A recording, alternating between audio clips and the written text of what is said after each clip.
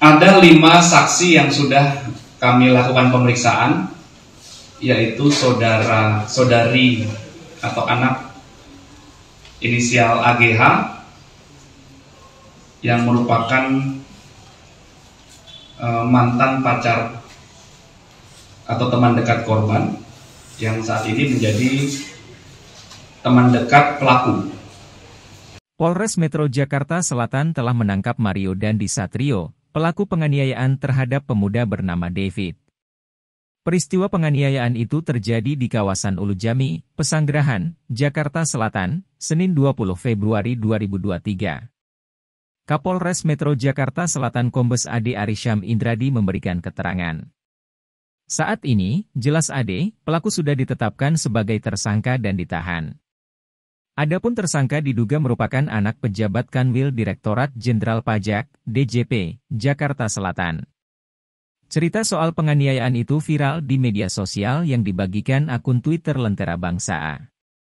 Berdasarkan narasi yang ditulis akun Lentera Bangsa A, peristiwa penganiayaan ini bermula ketika korban yang sedang bermain di rumah temannya dihubungi oleh mantan pacar.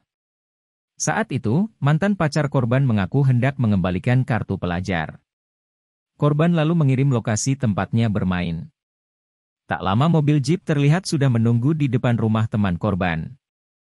Korban yang mengalami luka serius di bagian wajah sebelah kanan, kemudian dilarikan ke rumah sakit, RS, oleh ayah teman korban.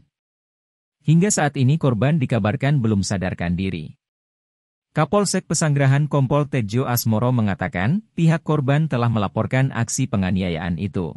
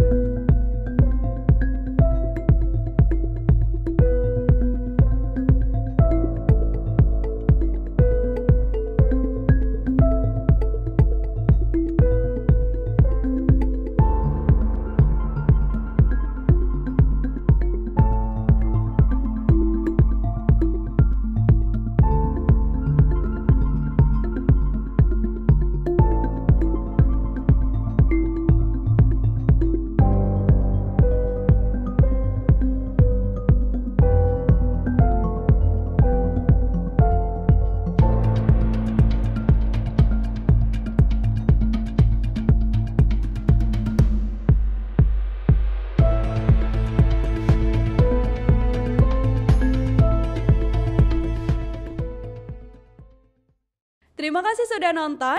Jangan lupa like, subscribe, dan share ya.